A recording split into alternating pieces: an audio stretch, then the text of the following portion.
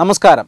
ലോകത്തിലെ എല്ലാ രാജ്യങ്ങളും അതായത് പെട്രോളിയം ഇറക്കുമതി ചെയ്യുന്ന എല്ലാ രാജ്യങ്ങളും ഉറ്റുനോക്കുന്ന ഒരു തീരുമാനമാണ് ഒപ്പക് രാഷ്ട്രങ്ങളുടെ യോഗവും അതിലെടുക്കുന്ന തീരുമാനങ്ങളും. കഴിഞ്ഞ ദിവസം ഒപ്പക് രാഷ്ട്രങ്ങൾ എണ്ണ ഉൽപ്പാദനം ഏതാണ്ട് പ്രതിദിനം ഇരുപത് ലക്ഷം ബാരലോളം വെട്ടിക്കുറയ്ക്കാൻ തീരുമാനിച്ചിരിക്കുന്നു. അവർ വെട്ടിക്കുറയ്ക്കാൻ തീരുമാനിച്ചതിന്റെ കാരണം ഇതാണ് ലോകം വലിയൊരു സാമ്പത്തിക പ്രതിസന്ധിയിലേക്ക് പോവുകയാണ്. ചൈനയടക്കമുള്ള രാജ്യങ്ങളുടെ ഈ വളർച്ചാ നിരക്ക് സാമ്പത്തിക വളർച്ചാ നിരക്ക് പരിതാപകരമാണ്. വികസിത രാജ്യങ്ങളുടെ പറയുകയും വേണ്ട. അതുകൊണ്ട് തന്നെ റഷ്യ യുക്രൈൻ യുദ്ധത്തിന്റെ പശ്ചാത്തലത്തിൽ കോവിഡാനന്തര പ്രതിസന്ധിയുടെ ഒക്കെ പശ്ചാത്തലത്തിൽ ലോകം ഒരു സാമ്പത്തിക പ്രതിസന്ധിയിലേക്ക് പോകുന്നു. അപ്പോൾ പെട്രോളിയത്തിന്റെ ഉപഭോഗത്തിൽ വലിയ കുറവ് വന്നേക്കാം. അതുകൊണ്ട് തന്നെ നിലവിലുള്ള രീതിയിൽ ഉൽപ്പാദനം തുടർന്നാൽ അത് ആഗോളതലത്തിൽ പെട്രോളിയം വില വളരെയധികം കുറയുന്നതിനിടയാക്കും. ഏതാണ്ട് നൂറ്റി ഇരുപത് ഡോളർ വരെ റഷ്യയും യുക്രൈനുമായുള്ള യുദ്ധത്തിന്റെ യുദ്ധം കൊടുമ്പിരി കൊണ്ടിരിക്കുന്ന സമയത്ത് എണ്ണവില വർദ്ധിച്ചിരുന്നു. അന്ന് ലോകത്തിന്റെ പല രാജ്യങ്ങളും ഏതാണ്ട് അൻപത് ശതമാനം വരെ എണ്ണവില വർദ്ധിച്ചിരുന്നു. പല രാജ്യങ്ങളിലും വലിയ ഇന്ധനക്ഷാമമുണ്ടായി. ശ്രീലങ്ക പാകിസ്ഥാൻ ബംഗ്ലാദേശ് പോലുള്ള രാജ്യങ്ങളിൽ വലിയ ഇന്ധനക്ഷാമം ഉണ്ടാകുന്നു ശ്രീലങ്കയിൽ പെട്രോൾ ലഭിക്കാത്ത അവസ്ഥ വന്നു. പാകിസ്ഥാനിൽ ഏതാണ്ട് അൻപത് ശതമാനം വില വർദ്ധിച്ചു. ബംഗ്ലാദേശിലും സമാനമായ സാഹചര്യമുണ്ടായി. ഇത്തരത്തിൽ ആഫ്രിക്കൻ രാജ്യങ്ങളിൽ വലിയ പ്രതിസന്ധി ഉണ്ടായി ഇത് ഭക്ഷ്യസുരക്ഷയെ ചോദ്യം ചെയ്യുന്ന തരത്തിലേക്ക് പോയി. വലിയ രീതിയിലുള്ള ഭക്ഷ്യക്ഷാമത്തിലേക്ക് പോയി. ഇങ്ങനെ എണ്ണയുടെ വില ഏതാണ്ട് നൂറ്റി ഇരുപത് ഡോളറിലധികം വന്നിരുന്നു. പക്ഷേ ഇപ്പോൾ ഏതാണ്ട് എൺപത്തിനാല് ഡോളറിലേക്ക് ചുരുങ്ങിയിരിക്കുന്നു.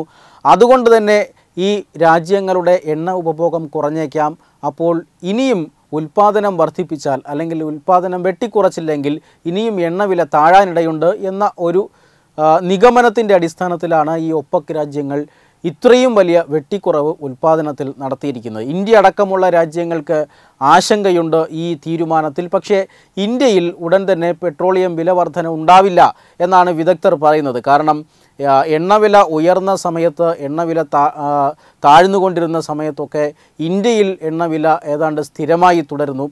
അതിന്റെ ഒരു പ്രയോജനം ഇന്ത്യയ്ക്ക് മുതലാക്കാനാകും. മാത്രമല്ല ഇന്ത്യ വലിയ രീതിയിൽ ഇപ്പോൾ എണ്ണ ശേഖരം നിലനിർത്തുന്ന ഒരു രാജ്യമായി മാറിയിരിക്കുന്നു. റഷ്യയിൽ നിന്നടക്കമുള്ള ഒപ്പക്ക് രാജ്യങ്ങൾക്ക് പുറത്തു നിന്നുള്ള ഇറക്കുമതിയിൽ ഇന്ത്യ ഇപ്പോൾ ശ്രദ്ധ കേന്ദ്രീകരിക്കുന്നു. ഇതെല്ലാം ഒരു പരിധിവരെ ഈ എണ്ണ ഉൽപ്പാദനം വെട്ടിക്കുറയ്ക്കുന്നത് ഉടനെ തന്നെ ഇന്ത്യയുടെ വിപണിയെ ബാധിക്കാനിടയില്ല.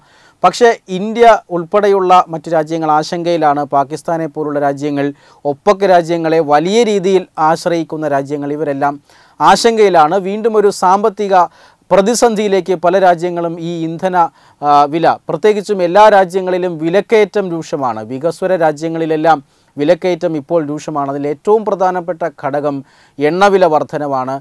ഈ വിലക്കയറ്റം പിടിച്ചു നിർത്തുന്നതിന് രാജ്യങ്ങൾ ശ്രമിച്ചുകൊണ്ടിരിക്കുന്നതിനിടയിലാണ് ഒപ്പക് രാജ്യങ്ങളുടെ തീരുമാനം വരുന്നത്.